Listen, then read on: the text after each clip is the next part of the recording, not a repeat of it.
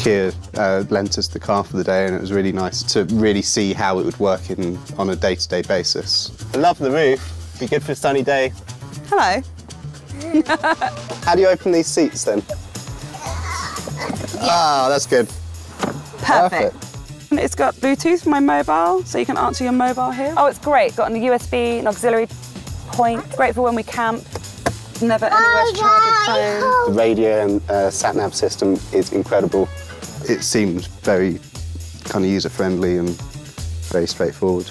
I'm poking your face, Dad. I'm stuck. I'm stuck in this screen. Good visibility all around, and it was amazing having that screen to know that you're not going to be running over the neighbour's cat.